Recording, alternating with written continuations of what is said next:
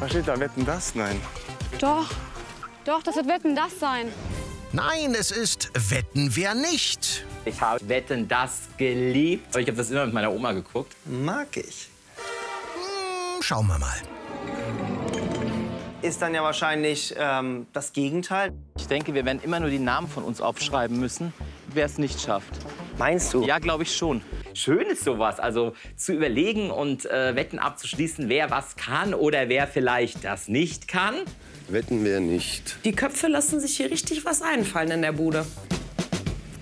Okay. Liebe Reality-Stars, es ist einfach unfassbar unterhaltsam, auf das Können von anderen zu wetten. Noch witziger ist es allerdings, darauf zu wetten, was andere eben nicht können. Und genau das machen wir heute. Scheiße, Alter. Tommy war leider zu teuer, aber wir haben acht wunderbare Wetten. Die Stars müssen bei jeder aufschreiben, wem sie die Erfüllung am wenigsten zutrauen. Der Star mit den meisten Negativstimmen muss zur Wette antreten. Wenn er wie erwartet völlig versagt, ist das Safety-Spiel für ihn vorbei und er kann in der Stunde der Wahrheit aus der Show gekegelt werden. Gewinnt er aber die Wette, so darf er einen der Stars, die ihn nominiert haben, aus dem Spiel werfen. Wow, krass. Alle ausreichend motiviert? Ich gehe natürlich von der Tendenz da aus, dass sie mich auf jeden Fall auswählen werden. Der letzte im Spiel verbleibende Star ist safe bei der heutigen Stunde der Wahrheit. Cool. Ich glaube, das kann amüsant werden. Auf geht's, Packmas. Ladies and Gentlemen, die erste Wette. Versenke einen Ball in einen Basketballkorb, ohne dabei deine Hände zu benutzen. Du hast drei Minuten Zeit. War sowas wie ähm, Schachspiel. Was glauben unsere Stars? Wer von ihnen kann's am schlechtesten? Meine Taktik ist so ein bisschen gucken, was die anderen aufschreiben, links und rechts. Ich habe dann bei Eva gesehen, ah, sie schreibt Emmy auf. Ich habe keine Ahnung. Klar, das Spiel war für Emmy eigentlich sehr, sehr schwer mit dem Basketball. Dann dachte ich mir, okay, wenn ich jetzt auch ihren Namen schreibe, dann hat sie ja die Möglichkeit, mich zu kicken. Deswegen habe ich irgendeinen Namen aufgeschrieben. Ich muss ja jemanden schreiben. Was soll ich denn machen? Der entweder nicht drankommt, dass ich safe eine Runde weiter bin, oder halt jemand, der mich dann nicht wählt. Amy, Amy? 3-3. ja, wer ist es? Bernd und Amy. Gleichstand dreimal Bernd, dreimal Emmy. Die Neuankömmlinge müssen entscheiden, wer's macht. Ich habe so Herzrasen. Beim Sascha merke ich, er flüchtet immer so ein bisschen von mir und hat mich eigentlich auf dem Kicker. Wir wählen die Amy.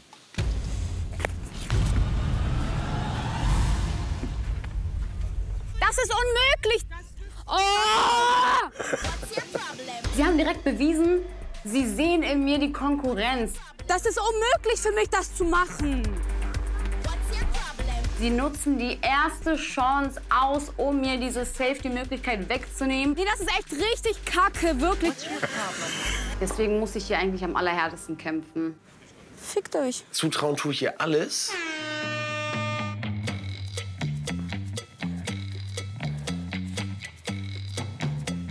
Die Idee ist super. Ich traue es Emmy eigentlich nicht zu, wenn ich ehrlich bin. Aber es war nicht schlecht. Ja. Also Emmy und Basketball ist so wie ich äh, und äh, Diät. Das ist halt schon sehr hoch und sie ist halt sehr klein. Come on. Es hat nicht geklappt, aber ich habe schon gesehen, ich war sehr nah dran. Ja, der war knapp. Dann hat es auf einmal geklappt. Ja, krass. Hätte ich nie gedacht, dass Emmy das schafft. Es war einfach nur super, den allen zu zeigen. Hier, Alter.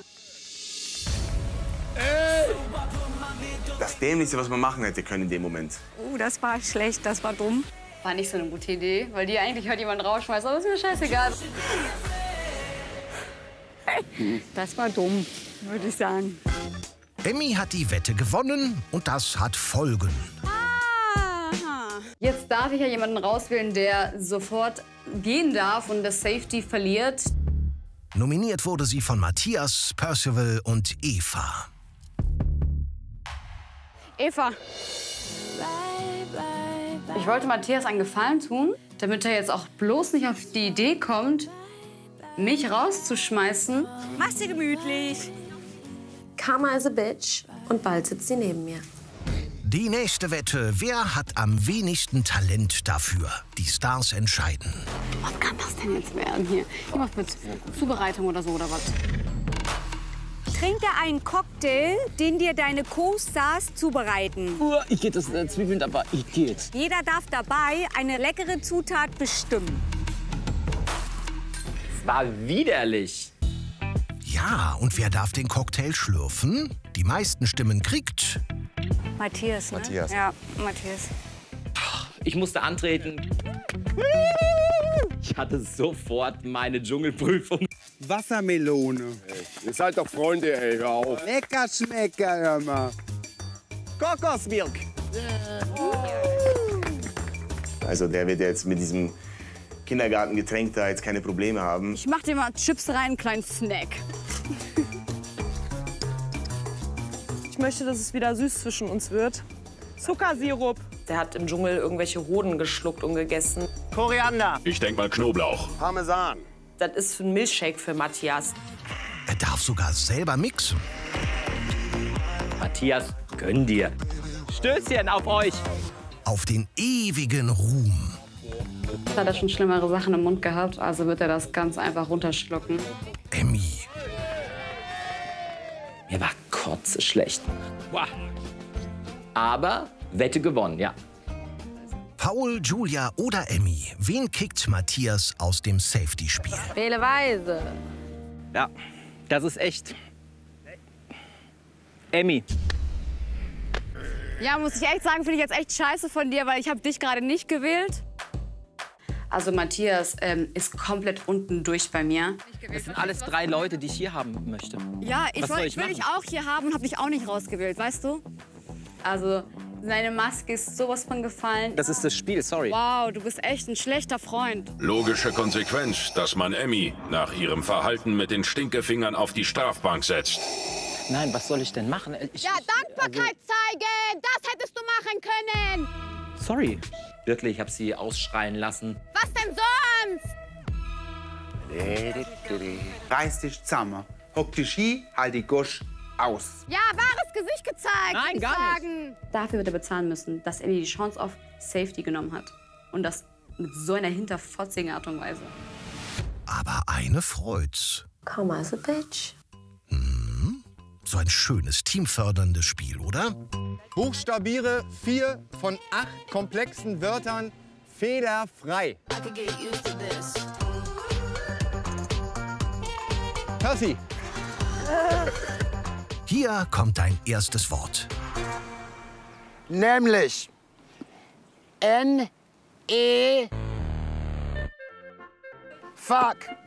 Er ist American und er wird es schwer haben. Stehgreif. Und dann gab es auch ein paar Wörter, die ich nie in meinem Leben gehört habe. S T E H. Ich hätte auch jetzt mit H gesagt. Ich habe das, ich hab das Wort noch nie gehört. Selbst ich hätte, glaube ich, schon Schwierigkeiten gehabt. L Y B I A N. Fuck.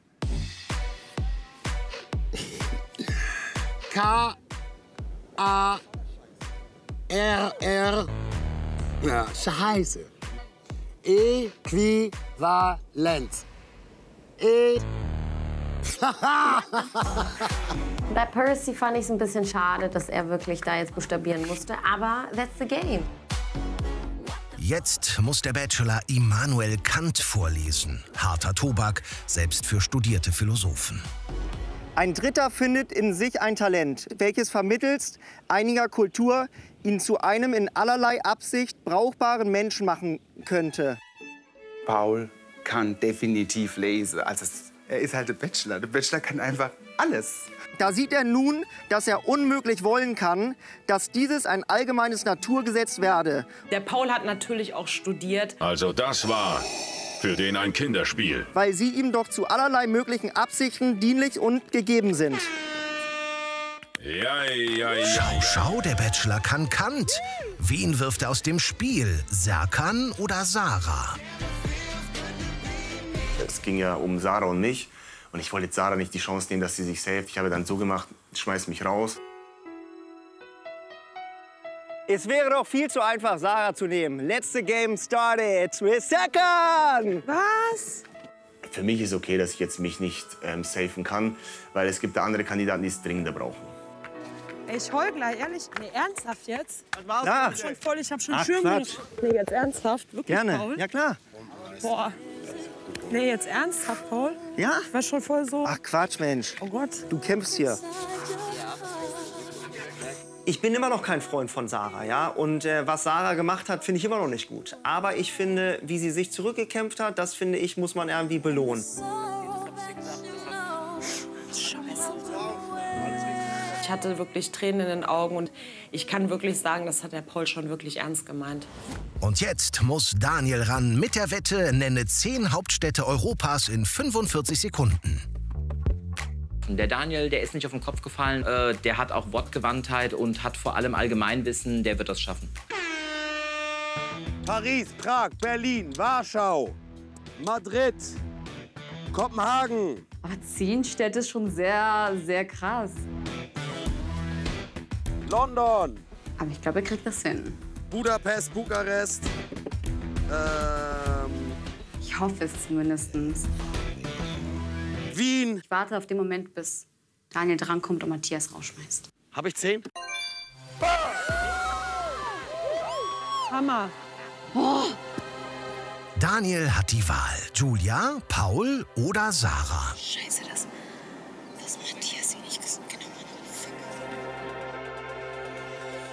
hast du recht, Paul. Und ähnlich wie du sage ich auf keinen Fall Sarah, denn sie fightet hier, seitdem sie zurück ist.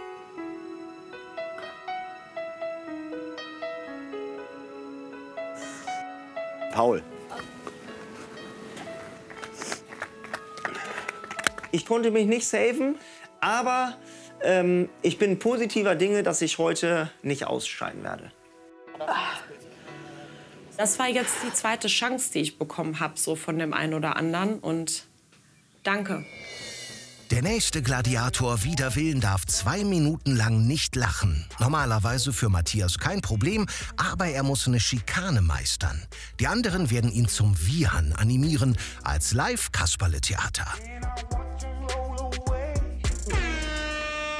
Und herzlich willkommen in einer neuen Show. Zirkus, Zirkus. Dass wir jetzt bei den Deutschlands verstörendsten Bildern auftauchen und Top 10 auf Platz 1 landen. Und hier kommen sie, meine Gäste. Das hatte nichts mit jemandem zum Lachen zu bringen. Das war eher schon fast wie so, ich kam mir ja fast vor, als wäre ich irgendwie überfallen worden in der Wohnung und geknebelt worden. Ich bin die Paula. Ich bin noch fauler als dieser Paul, der reitet auf einem Gaul. Also, das war wirklich ein Satz mit X, das war nix. Lach doch mal. Es war voll unlustig, wenn ich ehrlich bin. Ja, ich habe es geschafft. Juppie, Wette gewonnen. Da hat man wieder gesehen, dass ich es halt gelernt habe, mein Gesicht ganz oft zu kontrollieren. Ich bin nie im Leben gelacht. Das war, so, das war Fremdscham einfach nur. Wen wirft er raus? Sarah. Gut Okay für dich, ne? Klar. Dann schmeißt Matthias mich raus. Was ist da los? Ja. Yeah. Da sieht man, es gibt Menschen, die gehen wirklich auch über Leichen, um zu gewinnen. Nächste Wette. Fülle innerhalb von sieben Minuten Wasser mit mindestens einem der dir zur Verfügung stehenden Hilfsmittel von Aquarium in ein leeres. Und wem traut das leider keiner zu? Matthias ist es. Ah, Matthias. Warum ich schon wieder? Matthias, du kannst das. Matthias ist jetzt schon wieder dran. Ich weiß es nicht. Mir gönnt wahrscheinlich niemand, dass ich safe sein darf. Das war sofort meine Taktik, wie ich den Schlauch gesehen habe. Den Schlauch befüllen, zuhalten und dann Vollgas. Komm, Matthias, sag es bitte selber. Bin ganz gut im Saugen und im Schlucken. Danke, aber schlucken sollst du das hier nicht, ne? Du alter Schluckspecht. Geil, Matthias. Yay, fast geschafft.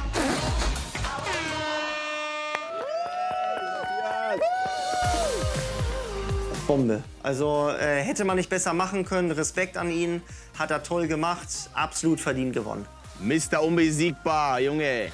Wette gewonnen, ich bin mega stolz, aber ich bin auch total fertig mit der, mit der Nerve. Hat Matthias im Eifer wohl zu doll gesaugt? Ich habe wahrscheinlich echt zu viel Luft äh, irgendwie auf dieses Parmesan, Koriander, äh, Shake da echt äh, drauf gehabt. Also ich habe eh schon die ganze Zeit diesen Knoblauch und diesen Parmesan aufgestoßen. Ich habe echt gedacht, das ist wie Carbonara. Bernd. Bernd fliegt aus dem Spiel und der Cocktail fliegt aus dem Matthias. Ja, also das war echt auch wieder so die Peinlichkeit der Nation, ne? Boah, krass. Aber ich glaube, ich bin komplett geresettet. So, weiter, Dankeschön. Man hat halt mal eben kurz gekotzt, zack, dann bin ich wieder da, fertig und that was the game. Schnell zur nächsten Außenwette, färbe dein Gesicht bis nach der Stunde der Wahrheit. Daniel wurde auserwählt, er muss ein holdes Antlitz für mindestens 60 Sekunden in die blaue Suppe tauchen. Was ist nicht richtig mit euch? Und jetzt, er wird das antreten. Und wen wird er danach rausschmeißen, um im Finale um das Safety-Ticket erneut zu kämpfen? Wenn mein Sohn das sieht, dann muss er mich jetzt immer Papa Schlumpf nennen. Der blaue Jung von St. Pauli. Daniel is fucking amazing. Ja, aber bei der Stunde der Wahrheit so auftauchen zu müssen, ist schon eine Nummer. Wen wirft Daniel aus dem Spiel? Und wer wird sein Gegner im Finale? Ich möchte euch natürlich beide raushaben, denn ich will das Ding hier gewinnen. Matthias, ich finde, du hättest eben Julia rausschmeißen müssen. Um Sarah eine Chance zu geben, sich zu safen, wollte er aber nicht. Das mache ich jetzt selber und deshalb gehst du als erstes. Sehr gern. Tja. Das bedeutet mir gar nichts. Wirklich gar nichts. Ich hatte jede Menge Spaß an diesem Spiel. Mir hat es mega Spaß gemacht. Lieber ein guter Verlierer wie ein schlechter Gewinner. Ich habe drei Spiele gewonnen. Du bist raus, nimm Platz und fang an zu schwitzen in der Sonne neben mir. Ekelhafte Frau. Das Finale. Ein Duell. Julia versus Daniel. Wer es gewinnt, ist heute safe. Platziert durch Schwingen einen Ping-Pong-Ball in einem Becher. Wer es als erstes dreimal schafft, gewinnt Safety. Dann lass uns mal die Eier schaukeln, hä? Richtig nervös bin ich nicht. Ich habe einen heiden Respekt vor ihr. Das ist einfach ein starker Gegner. Nichtsdestotrotz habe ich mich nicht aus der Fassung bringen lassen. Ich bin Sportler durch und durch, habe viele Kämpfe bestanden und weiß, dass man in diesen Situationen cool bleiben muss. Ich will mich unbedingt safen, gerade weil es am Anfang relativ schwierig für mich war.